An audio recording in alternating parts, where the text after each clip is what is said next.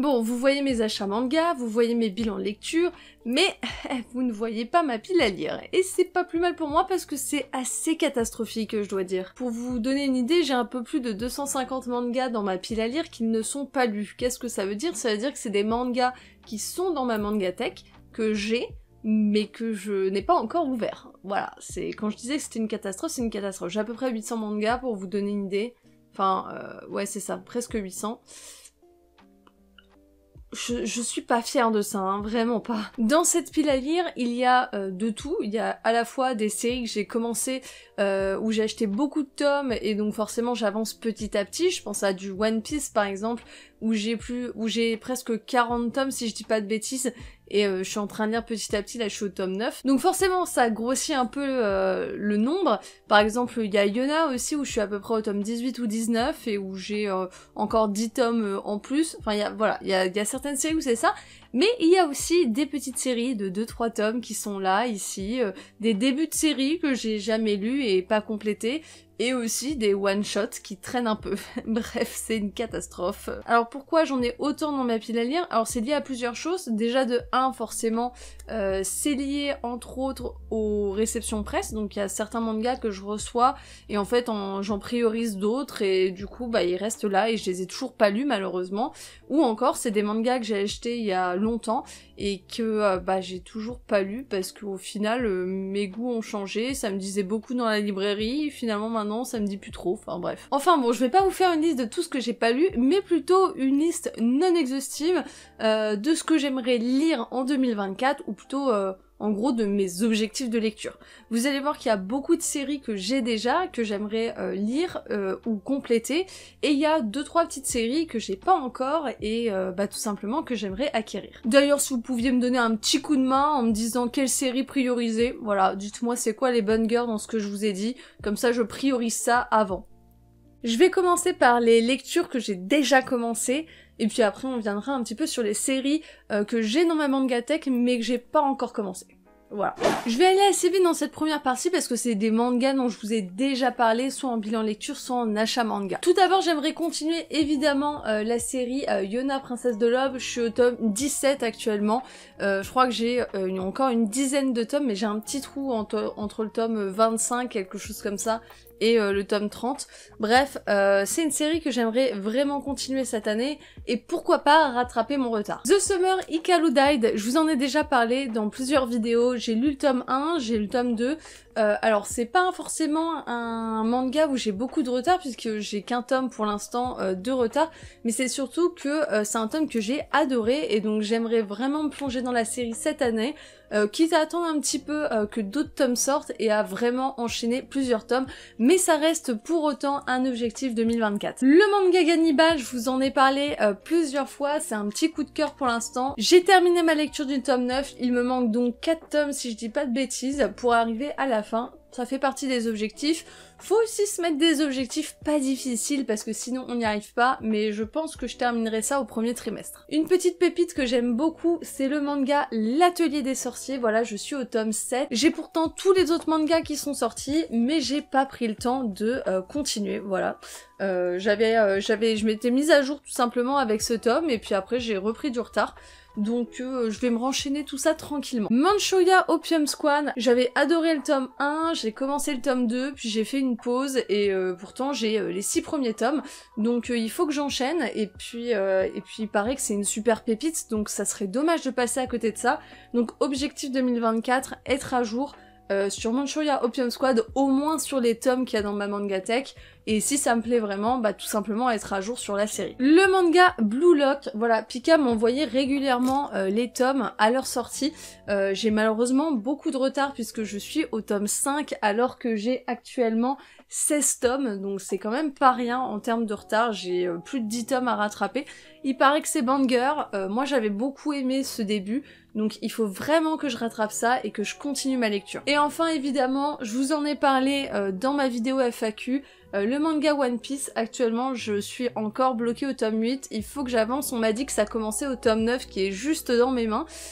donc bah voilà, objectif 2024, être au moins à jour euh, sur les tomes dans ma mangatech et puis on verra si j'ai le temps d'en acheter d'autres. Maintenant je vais vous parler un petit peu des séries que j'ai dans ma mangatech mais que j'ai toujours pas commencé. Oui c'est totalement honteux euh, mais euh, c'est parti. Le manga Full Metal Alchemist. alors là, c'est un peu la honte pour moi dans le sens où j'ai les 5 ou 6 premiers tomes et je l'ai toujours pas commencé. Et pour le coup, euh, contrairement à beaucoup qui ont euh, découvert le manga euh, à sa publication avec la première série, moi je l'ai jamais lu, j'ai vu uniquement l'animé qui n'a pas la bonne fin, je sais jamais lequel c'est, et voilà, je, je m'étais dit bah il est temps un peu de lire le manga, donc avec cette perfecte édition, moi je vais le découvrir, je l'ai toujours pas lu, et ça fait partie des objectifs de cette année euh, de, lire Full Metal Alchemist, ou du moins de rattraper mon retard sur l'édition perfecte de chez Kurokawa. Euh, j'espère que je vais adorer, en tout cas l'anime j'avais adoré, donc j'ai hâte de lire ça. Un manga qui est souvent euh, considéré comme un pilier, c'est le manga Orange de Ichigo Takano. Euh, voilà, c'est un manga que j'ai dans ma mangatech que j'ai complété cette année parce que j'avais des tomes euh, éparpillés. Et euh, il est temps pour moi de lire ce qu'on m'a toujours recommandé comme étant un banger. Il faut absolument que je lise ça parce que ça fait très longtemps que je me dis que je vais le lire euh, et, il faut pas que je passe à côté, donc euh, objectif de cette année. Un manga que j'ai dans ma mangatech depuis assez longtemps aussi, euh, qui m'avait été offert par un pote, c'est le manga Gokinjo de la même autrice que Nana. Pour le coup, je crois que ce manga a été édité avant Nana et j'aimerais beaucoup commencer Nana, mais je me suis dit qu'il était hors de question pour moi de commencer ce titre sans avoir lu Gokinjo auparavant. Donc je vais lire Gokinjo. C'est l'ancienne édition que j'ai. j'ai l'intégrale en 7 tomes, il est temps que je me penche dessus. Objectif 2024, découvrir euh, le travail finalement de Ai Yazawa. Et pourquoi pas découvrir Nana pour plus tard, mais je me le mets pas en objectif 2024 parce que j'ai déjà beaucoup de choses à lire comme vous pouvez le voir. Petite pause dans la vidéo pour te dire de t'abonner à la chaîne, ça fait toujours plaisir. Vous êtes 50% voire même 60 parfois à regarder les vidéos et à pas être abonné. Euh, donc pensez à le faire, c'est ce qui m'aide le plus à l'heure actuelle sur la chaîne. N'hésite pas à me mettre un petit commentaire en me disant les objectifs que tu as euh, pour 2024, que ça soit en lecture ou en autre chose, et euh, notamment aussi à me parler des mangas que tu voudrais euh, lire cette année. Un manga qui est assez vieux mine de rien, qui est le manga Enfer et Paradis. j'ai les quatre premiers tomes, c'est un, manga que j'avais découvert à l'époque en animé, que j'avais beaucoup aimé et j'ai jamais eu la fin parce que bah, la fin n'a jamais été faite en animé. Donc je m'étais dit c'est parti pour découvrir le manga donc j'ai les quatre premiers volumes de l'édition double où il y a une belle frise derrière.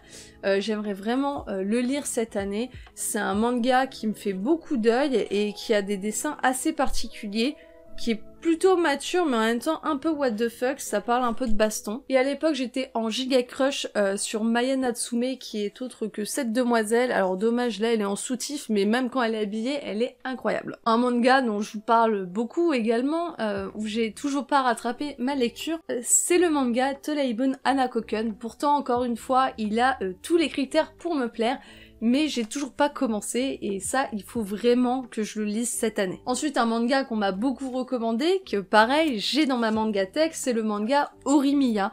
Pareil que euh, avait la gentillesse de m'envoyer au fur et à mesure.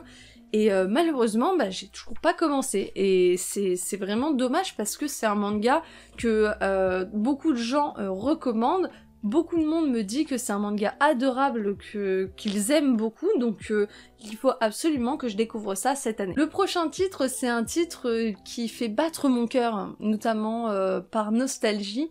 Euh, c'est euh, un manga où finalement j'ai euh, grandi un petit peu avec l'animé. C'est le manga City Hunter, voilà. On m'a offert les quatre premiers tomes pour Noël.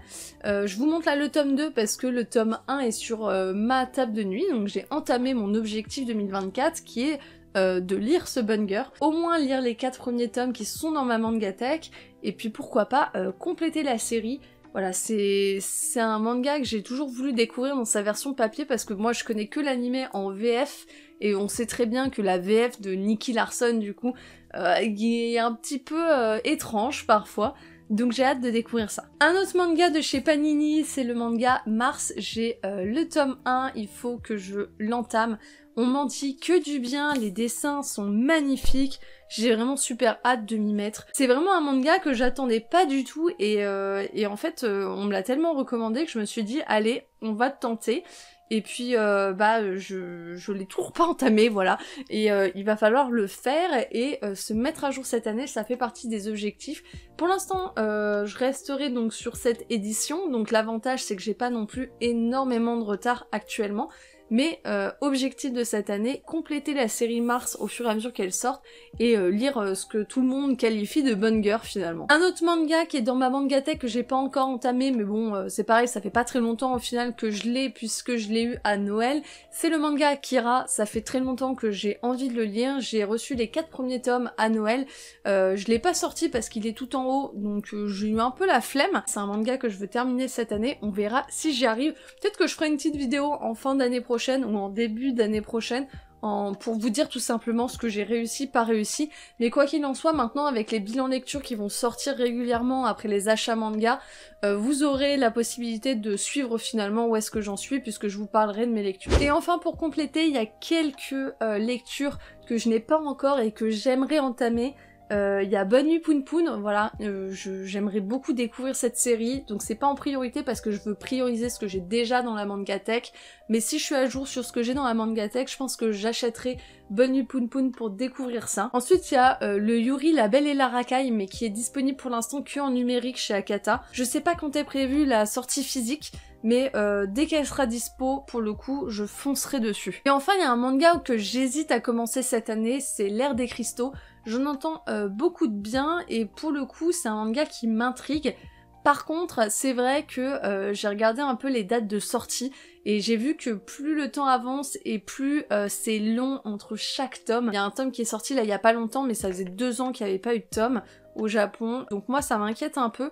Donc je sais pas trop encore si je vais commencer cette année ou si je vais attendre de voir si on termine le manga parce que euh, moi les quand je vois euh, les temps de publication qui s'allongent comme ça, ça me fait extrêmement peur. Bref, c'est la fin de cette vidéo. N'hésite pas à me dire quels sont tes objectifs de lecture 2024 en commentaire et euh, à mettre un petit like, à t'abonner, à partager. Voilà, c'est tout pour moi. Et sur ce, à tous tout le monde